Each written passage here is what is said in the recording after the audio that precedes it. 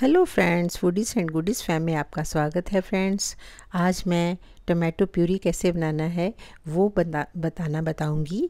उसके लिए मैंने डेढ़ किलो टमाटर ले लिए हैं और इनको मैंने वॉश करके और इनमें चीरा दे रही हूँ। इन द मीन टाइम मैंने ऑलरेडी कढ़ाई के अंदर पानी डालकर, खुला पानी डालना है। पानी डालकर गर्म होने के लिए रख दिया है।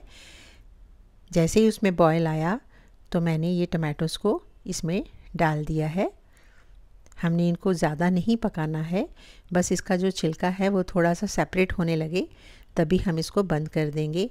इस प्रोसेस में सात से दस मिनट मैक्सिमम लगते हैं और इसको थोड़ा सा हम ऊपर नीचे कर देंगे ताकि टमाटो जो नीचे वाले हैं वो ज़्यादा जल्दी हो जाएँगे और हम उसको पलट देंगे।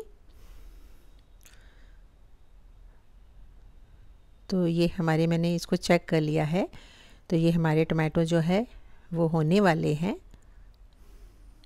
इनका छिलका अलग होना शुरू हो चुका है। इनको मैं निकाल लूँगी और इसको ठंडा करके फिर हम इसको ग्राइंडर में पीसेंगे।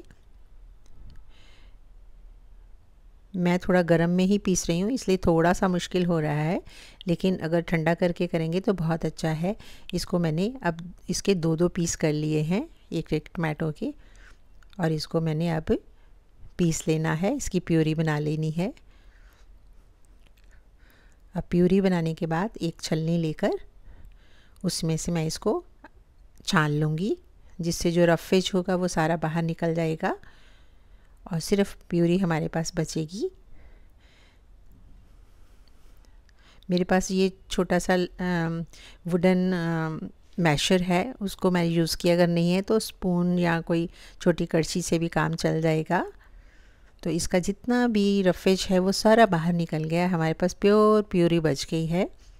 अब मैं इसको आइस ट्रे में डाल के क्यूब्स बनाने के लिए फ्रीज़र में रख दूँगी। ओवरनाइट रखूँगी।